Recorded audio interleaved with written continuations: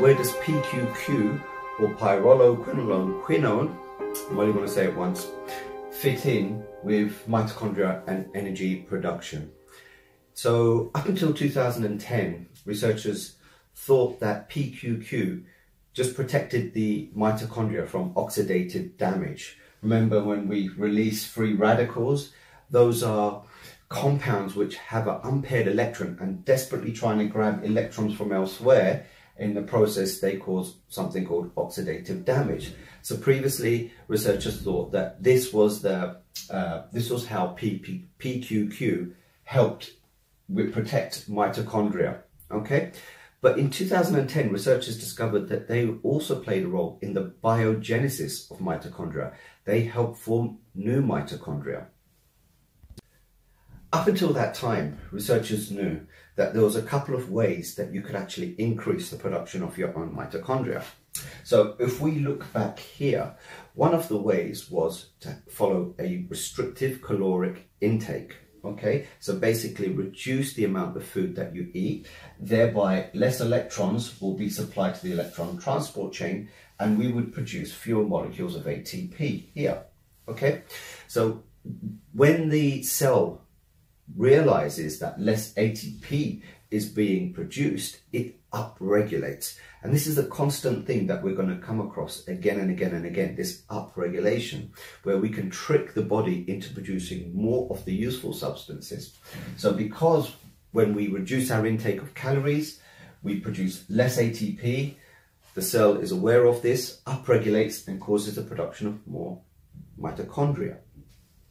On the other hand, we can also stimulate biogenesis of mitochondria by using up more of the ATP. How do we do that? By following a regime of strenuous exercise. So when we exercise, we soak up that ATP so there's less around for the cell to detect, okay? And as a consequence, we can also further stimulate the production of mitochondria by exercise. So two methods researchers prior to 2010 knew were useful in the production of more mitochondria and hence more energy. Reduce the calories and exercise more. Then 2010, PQQ came on the scene and there was a third way that we could actually produce more mitochondria in our cells. So how does PQQ increase the production of mitochondria. How does, it, how does it stimulate biogenesis of mitochondria? PQQ interacts with a number of proteins called nuclear transcription factors.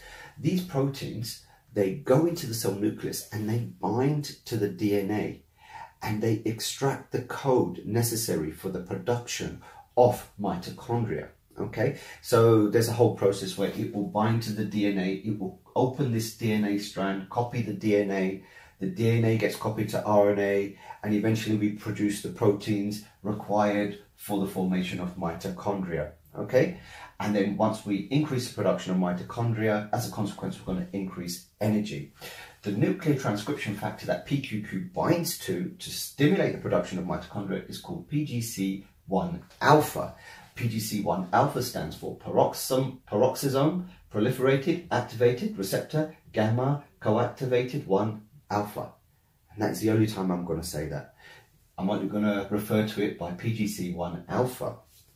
So in addition uh, to the to uh, in addition to its use as a nuclear transcription factor, when activated, PGC1 alpha also regulates muscle fibers and is useful in the control of blood pressure, uh, regulation of cholesterol homeostasis or uh, cholesterol balance, and the development of obesity uh, PGC1 alpha is also helpful with reducing the number of free radicals.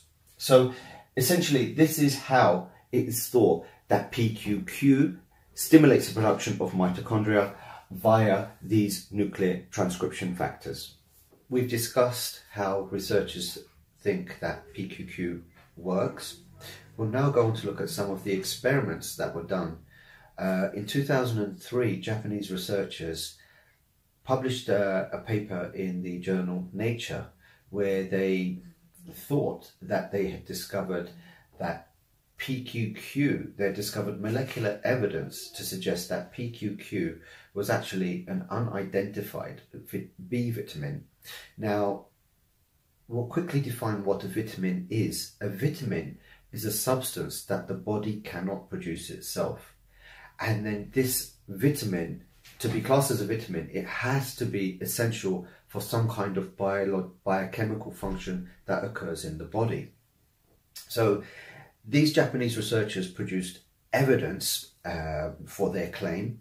They fed mice, two sets of mice. Uh, one was given a PQQ deficient diet and the other one was supplemented with PQQ. The other group of mice was supplemented with a diet that contained additional PQQ. What they found in the first group of PQQ deficient mice, there was a reduction in their growth and it affected their reproductive capabilities. Okay, so and the offspring that was born that were born to these mice, they were unlikely to survive for about three days. And also, the skin of these mice was weak and brittle. These mice, the cells of these mice were also found to contain about 30 to 40% less mitochondria, and the mitochondria that were present were also smaller than normal and they behaved abnormally. However, in the none of these symptoms occurred when in the in the mice that were supplemented with the PQQ diet. So this was further evidence to suggest that yes, vit- uh, PQQ can be classed as a vitamin. The researchers also discovered that PQQ activates an enzyme that is essential for the production of collagen in mice. And now researchers have found out that PQQ acts on the same enzyme in humans. Other researchers carrying out similar animal studies have found that PQQ is essential for reproduction, early development, growth, and a robust immune uh, response. In uh, researchers found that when rats were fed a PQQ deficient diet, then they suffered growth impairment, they suffered from re reduced uh, reproductive capability, and they had a reduced uh, immune response. Uh, researchers have also found that uh, PQQ has anti-inflammatory properties and it's also neuroprotective it prevents our nerves from being degenerated and can also stimulate nerve growth factors to produce more nerve cells and increase the number of synapses between the nerves, which is good, which is very important for memory. Other researchers have found that it helps uh, cardio, uh, cardiovascular health, particularly after an ischemic attack, i.e., when the heart is deprived of oxygen. In a randomized double blind controlled trial, which is the gold standard when we are researching uh, or doing experiments, researchers who gave uh, participants 20 milligram of PQQ daily found that it increased their cognitive ability. They were able to recall facts easier, um, uh, their thinking was a lot clearer. And this effect was increased when they in addition to the PQQ, they gave coenzyme Q10. So if you think about it, it makes sense because with PQQ, we're increasing the production of mitochondria. And to go with that, we would also need to increase production of coenzyme Q10. So if we supplement that, we, uh, we increase the effects uh, the positive effects that we see with cognitive function when we take PQQ and coenzyme Q10 together. We mentioned coenzyme Q10, so that's an essential thing that you should take if you want to increase your energy, delay aging, and hopefully prevent the development of these chronic conditions. And in addition to the coenzyme Q10, we've come on to our second nutrient, which is PQQ, which actually increases our on production of mitochondria. So we have more mitochondria and then we provide these new mitochondria with extra coenzyme Q10. If you remember back to the beginning of the video, I said that PQQ is my favorite mitochondrial nutrient and I'm going to explain why. What we're going to do is look at the top five PQQ foods. Which foods give you the most bang for your buck? In terms of milligram PQQ per kilo of food. So coming in at number five with 34 milligrams of PQQ per kilo of food are green peppers. Number four, with 34 milligrams of PQQ per kilo of food, is parsley. Number three, at 61 milligrams of PQQ per kilo of food, is our fermented soybeans. So all of these quite easy for us to obtain and eat.